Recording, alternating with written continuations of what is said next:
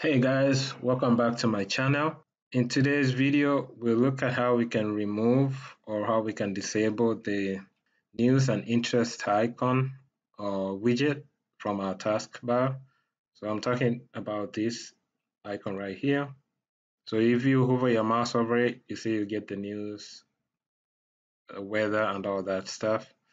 Now if you if you don't like this and you want to remove it or disable it, to do that you just hover your mouse over it, right click, and then you will get this pop-up.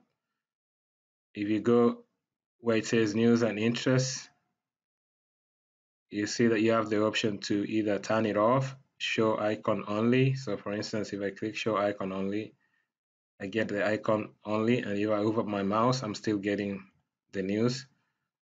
If I go back into it by right clicking on it and go here, I'll get the option to turn it off. So turn it off and it's gone.